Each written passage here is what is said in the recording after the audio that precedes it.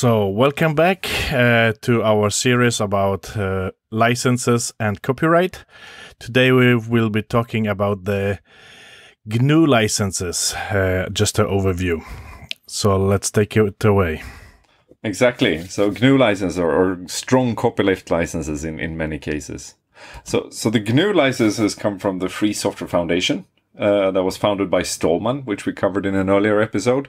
Um, and that foundation also funds the GNU project, uh, which is uh, a source of many of the GNU tools for, for, for user space in, in Linux. So that's why it's sometimes referred to as GNU Linux, because the, the non kernel parts come from this project. Uh, the, the Free Software Foundation defines four freedoms that, we, that we've also talked about. Um, so the freedom to run the program for any purpose, the freedom to study the program and change it to your wish, the freedom to redistribute and make copies of the program, and the freedom to improve the program and release your improvements. So to redistribute a modified version to the public. Uh, and this is sort of the basis for the licenses. So the GNU licenses are triggered by distribution. And and there are a number of different GNU licenses so distribution varies a bit in between them. Uh, but it's important to, to recognize that the GNU license doesn't really apply when you're just having the code at home. Uh, but it's when you actually distribute it to a neighbor or user or a, a fellow developer. Uh, and basically there are four variant of the GPL. It, it's the, the GPL itself, the GNU public license, which is a strong copyleft license. Uh, the LGPL, which is the lesser or the library GPL. Uh, the Affero GPL is interesting um, because it redefines distribution to, to sort of address the problems with uh, with open source or free software being distributed as a service. Uh, and then we have a documentation license, the, the GFDL. But let's look at these in, in more detail. So you might recognize these diagrams. So basically you have your software, which is a piece of software you write that depends on a piece of licensed code or the work. I think it's defined as in the license. And then you can make modifications to the license code as well. So GPL is really easy because that means that if you depend on the license code, your code is also GPL or has to be, uh, and your modifications also has to be GPL. What does the arrow down mean in this case? Why is it from your software to license code? So, so let's say that the license code is uh, a library of some sort. Um, give me a good example of a of GPL licensed library. Uh, libc. libc has an exception, I think. Ah, damn it. no, but it, it, it's a library, and your software okay. uses that library. Uh, so the license code is probably an SO file on your hard drive, and your modifications is code changes that you use to compile a new SO file, while your software is just your binary that then links to that SO file. And the modifications in, in this picture is the modifications to the library which you did. Exactly. So you fix a bug or you change the behavior slightly. And and that is obviously GPL because that's a change to the license code. And and that's really the difference to the LGPL. Uh, because that I I personally think that the the library GPL it says more about it than the lesser GPL. Uh, because if the license code is a library, what you what we want to get out of that is that the modifications or improvements to the library itself should be distributed further and sort of be to the benefit of the of the community while your software that de- depends on the library isn't as important for the community so it is allowed to to stay closed source or be open source with different license or, or whatnot. The the limitation. I, I, think I think a good way to think about how to pronounce the LGPL is it is not the lesser GPL, it's the lesser general public license. It's it's not as general as the GPL. Sure. Yeah. And then moving on to to the the more the, the, the, even stronger. The I more would say. GPL. the more GPL. no, the, the, the even stronger uh, license, I would say, in my view, the the AGPL. So, so Affero Inc., was a company founded by a guy called Henry Poole in 2001. And he wanted to solve the issue that if you, if you take a GPL based software and, and use it in your, on the server side, that doesn't trigger distribution because it's still on your machine as, as you as a developer. So the user has no freedoms from that. The, the code does not have to come along or be distributed along with, with mm-hmm. the service. Um, as there is no code distribution. Uh, so, so what is, has been added to AGPL is that when you're interacting with it remotely through a computer network, you also must have an opportunity to receive the corresponding source code uh, using a network server at no charge. Uh, and then it also says through some standard or customary means and so on. So you can't really just fax it over or something. It, it needs to be convenient. Uh, but it basically expands on the notion of distribution, I would say. But does it then, in comparison to the LGPL and GPL, does it cover more? Uh, so your software, like you had in the uh, the both were green, your software and the library were G needed to be GPL. Does this mean in AGPL also that your software needs to be AGPL? It needs to be GPL at least. Um, I see.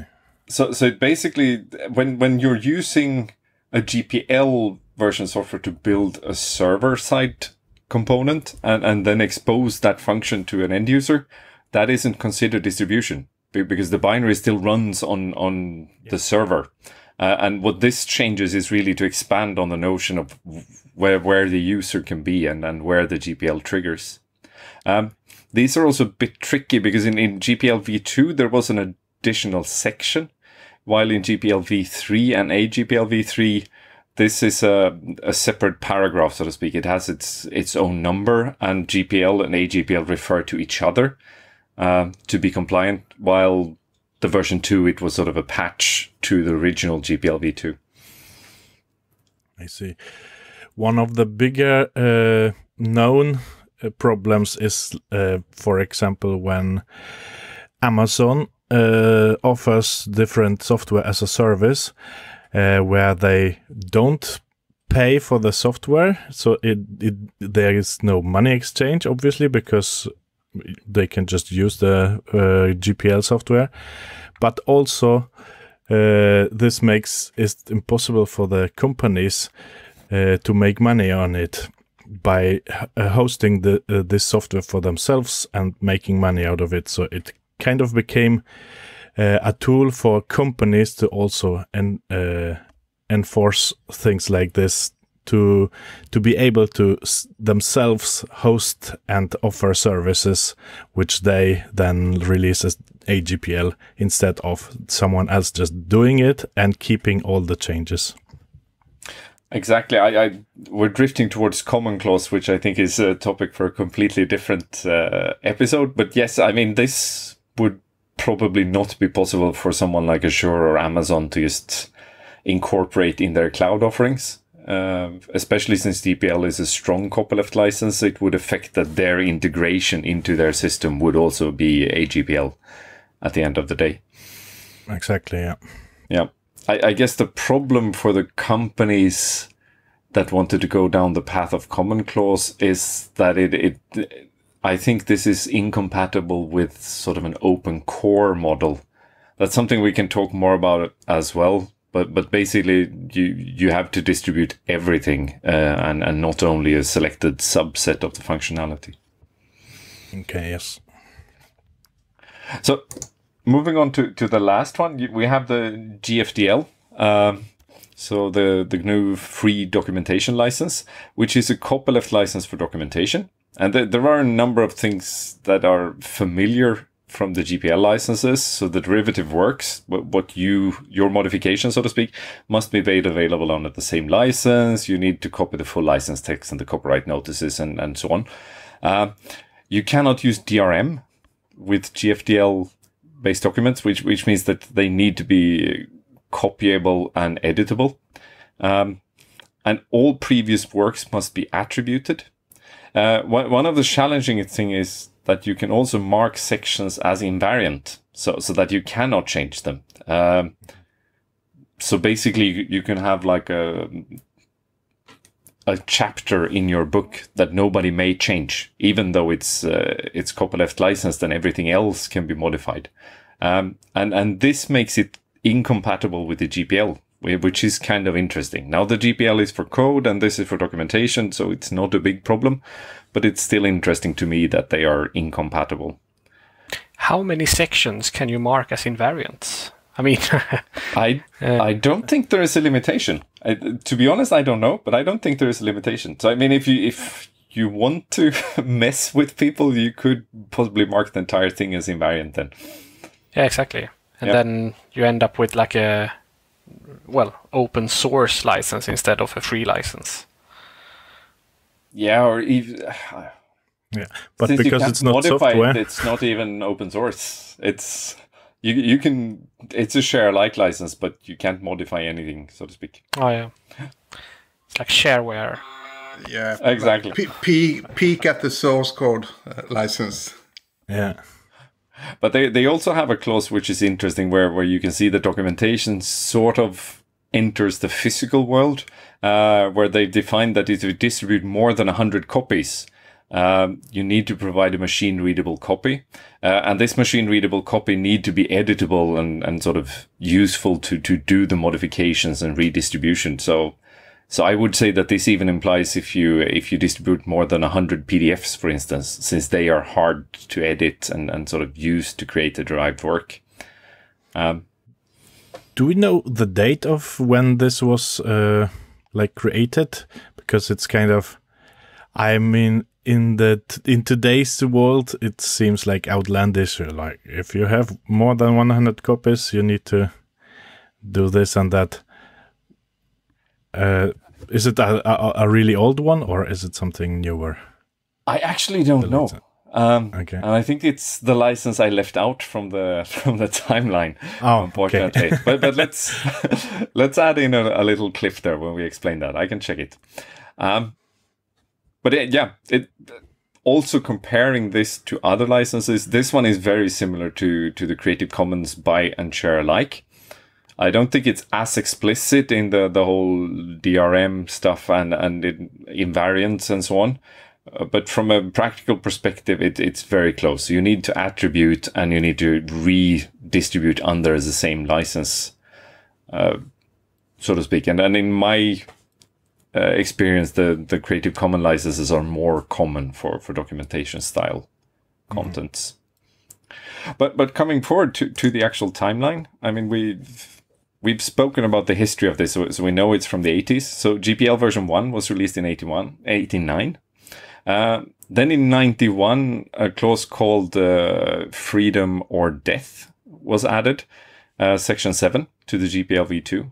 Uh, it basically means that if you are restricted by other laws, so, so that you cannot satisfy all the, the obligations of the license, uh, then you may not license the code, basically. So, so, mm-hmm. so if you happen to live in a jurisdiction where you can't use the code for any purpose, for instance, then tough luck.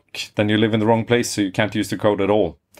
Mm-hmm. Um, so, so that's I would say it's a clarification or a reaction. Uh, I don't know the exact background to adding it. Uh, Along with that, the LGPL v2 was also added. Um, and then in 99, the LGPL was, let's call it clarified. So, so they added a, a section 6b that explicitly says, I, I, mean, we had the, the boxes, your code depending on the, on the licensed work. Um, and they say that a suitable shared library mechanism is, is an acceptable way to do this. Um, this was sort of implied in the 2 not dot one, but in 2.1 it was clarified. Uh, mm. Technically, you can you can even fulfill the LGPL while doing static linking, um, but then you need to distribute your object files so that somebody else can do the linking because the, the license doesn't really care how the linking is happening. It's just that the user should be able to change and update the GPL part of the work, so to speak this is, I think, how Apple goes around the whole problem because they only have static linking in their iOS. Uh, there's no uh, shared. Uh, what is the other one called? Uh, shared linking? No. Dynamic linking. Yeah, dynamic linking. Thank you. Yep. Uh, and and this is one of the things I guess they they use. Exactly. to do it. So, so what you have to do is you need to create a library out of your app, the, the proprietary parts of your code. You can strip it from debug symbols and so on, but it needs to be possible to link it to a new version of the of the LGPL version of the library. Um, and then looking forward to the 2000s, in 2007, GPL v3 came along, um, which is a completely different license, I would say, to some respects. It, it defines how to arbitrate uh, license infringements and so on, uh, but it also covers some things that, that are big enough for us to dive into in separate sections, like uh, patent clauses, uh, digital rights management, and and uh, Tivoization. Um, but these are really big topics that we need to dive into individually. Uh, there's also I had a qu- quick uh, look in the Wikipedia, and the GFDL, just to add to the timeline, was uh, released as a draft in '99, uh, and then the latest uh, version 1.3 is from 2008. cool. Yep. It could be worth And to, to some know. say that we should call it digital restriction management. Yeah, I mean the DRM abbreviation is, is really unfortunate. It's, it's, it's also part of the graphic stacks and Linux systems and so Yeah, on. I I know. Uh, th- there is one more thing that we need to, to be aware of. So, since there are different versions of the GPL, um, you can also license under GPL version something and later. Um, uh, this is usually entered as GPL v2 plus, for instance, or GPL v3 plus, which means that you, you can you allow the usage usage of a later version of the GPL, which means that you trust the, the FSF to actually release sane versions of the GPL. You really put your all your your assets in their lap by doing so. Um, another thing around the FSF, and this is, is especially when you want to put your code into the GNU project explicitly, um, that you can also sign over the, the copyright and assign it to the FSF. Uh, and the background to this is that it's only the copyright holder that can sort of go after someone infringing the license. So, so either you have to defend your own license and sort of pay for lawyers and go to court and all of that, or you can assign the copyright to FSF before the infringement happens, and that will allow the FSF to defend the license. Um, Oh, so it needs to be before it happens, not afterwards. Okay. That's the way I understand it. I mean, otherwise it's yeah. uh, otherwise, you sort of change the license holder uh, retroactively. Because it, it's the uh, copy you distributed that counts. Ah, I see. Okay. I, I would guess. I'm not a lawyer. yeah. Yeah, I have to add I- that myself as well. As far as I remember, uh, Linus Torvalds put GPL version 2 and he didn't trust uh, for the plus, and he seems to be quite happy about it because it doesn't mean that Linux itself uh, can be distributed under version 3, which he seems not to like. Exactly. There, there are some different views there, definitely. So, so the Linux kernel is GPL v2 without the plus. It's only version 2. And it's on purpose.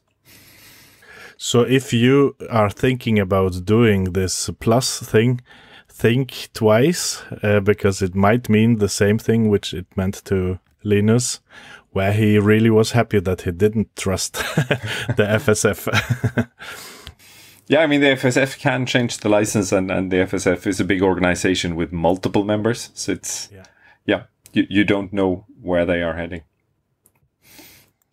But that's a quick introduction to the various GNU licenses. Uh, we will dive into them in going forward as well. Uh, if there's any specific thing you want us to bring up, just ping us in the comments or on uh, on Twitter, and, and we can do that early. okay, then thank you all and uh, see you soon.